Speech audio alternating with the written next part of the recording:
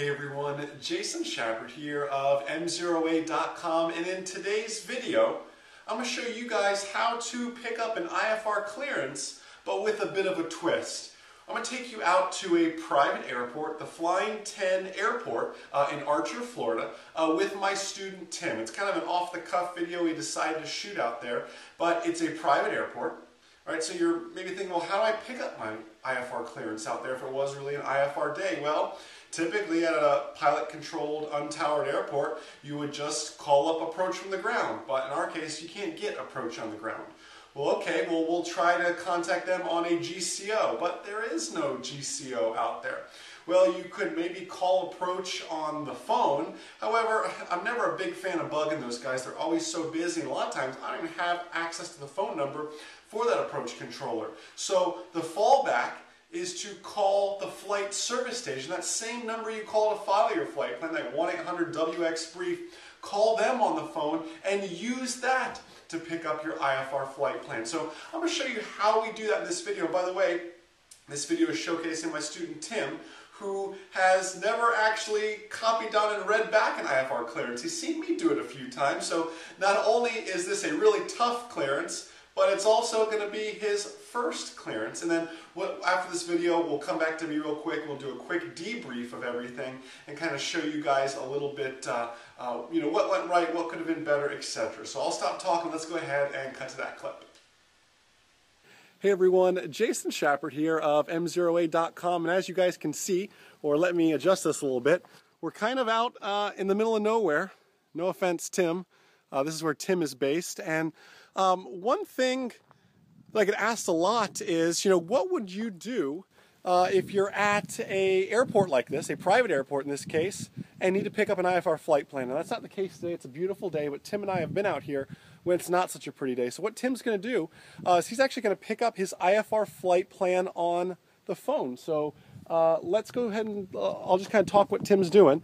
Uh, all we're doing is we're calling the actual um, weather briefer, the same uh, Gainesville Flight Service Station. I got to whisper now.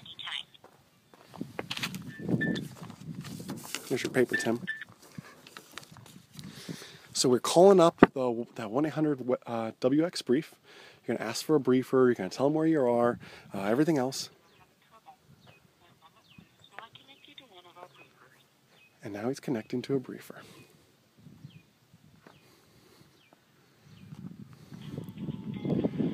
Cue good hold music. Flight Service. How are you doing, sir? I'm doing well, thank you. How about yourself? Good. My name is Tim. I have November 5284 Tango. I like to pick up a, a IFR filed flight plan out of zero Juliet 8, please.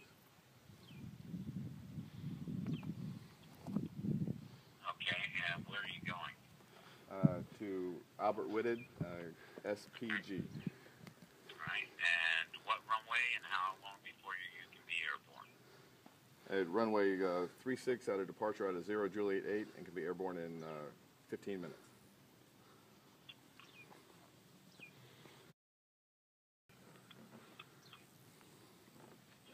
Okay, so to make sure I have this uh, accurately, it's an IFR clearance request November 5 to 84 Tango departing 0 Juliet 8 flying 10 airport in Archer, Florida to the Sierra Papa Golf Airport, Albert Whitted, St. Pete, Florida, off runway 36, and you can be airborne in one five minutes.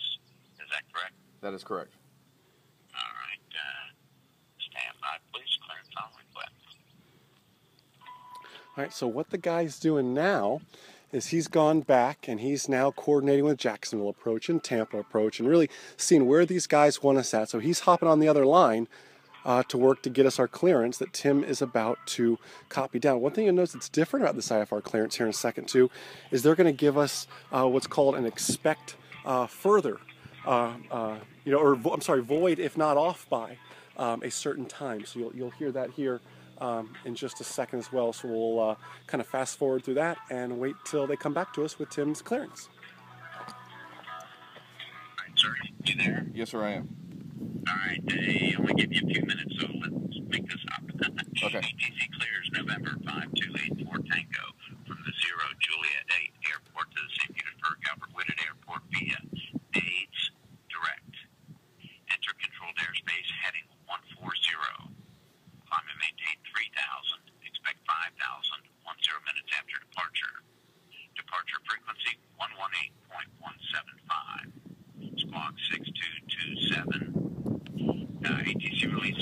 528 Tango. Clearance void is not off by 1709er. Is not off by 1709er. Uh, well, they didn't give a report, but clearance void at 1709.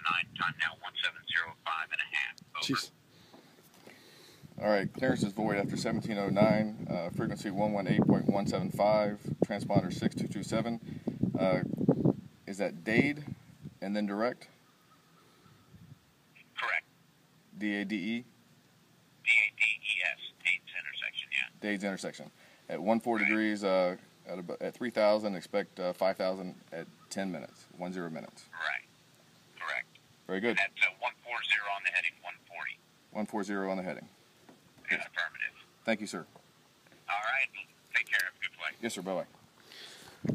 All right, so pretty neat. A, a- a different way to grab that IFR clearance. If you notice, as far as our, uh, you know, void if not off by time, they really didn't give us a lot of time there. And, and I, I want to emphasize that just because they told you, hey, basically you got four minutes to get up in the air, that is no reason to rush. That is no reason to skip a run-up. That is no reason to skip a pre-flight, etc. Okay? You know what? If you got a clearance like that, now we were very fortunate in our situation. We had already pre-flighted. We were ready to get in there and crank that airplane. We still took our time though. We did a run up. You know what? We were a little bit after that 1709 that they told us to be at, but they were still waiting for us. Everything was still a-okay. The world didn't fall apart in that case. Yes, uh, the approach controller was busy, but we still made it happen. You cannot rush in a situation like that where they're telling you, hey, we, we got to make this happen. You got to get there. You got to get flying. Don't let anybody talk you into that in that case. Now, as far as the clearance goes, clearance wasn't bad. Uh, the readback wasn't too bad. Tim did a good job. Um, kind of went backwards as to how I would have done it. I would have started, you know, at the top, you know, clear to, you know, St. Petersburg and read it all the way down. Kind of went backwards, but no big deal. It's Tim's first clearance. So, uh, did a great job. Uh, we figured out the DADES intersection, asked for the spelling. Always great to ask for the spellings on those intersections, but overall, not too shabby of a job. And guys, just another tool to add to your flight bag. Calling 1-800-WX-BRIEF, the actual flight service station, to pick up your IFR clearance at a pilot-controlled, non-towered airport uh, is a great way to grab that clearance from a private airport, a, a pilot-controlled airport, um, on an IFR day. So hope you guys really enjoyed this. Any comments, go ahead and leave me a uh, comment in the box below on m0a.com. Enjoy the rest of your day, and most importantly, remember, that a good pilot is always learning. Have a great day, guys. See ya. Hey there, if you think this video was good, you're going to love the over 400 other videos inside our exclusive members only online ground school. Ground School Academy members enjoy weekly live webinars, mock check rides, and customized written test prep. Ground School Academy members not only have access to the number one rated online ground school, but also the best guarantee in the industry. Pass your check ride or we'll pay for it. Visit groundschoolacademy.com to learn more and become an online ground school member today.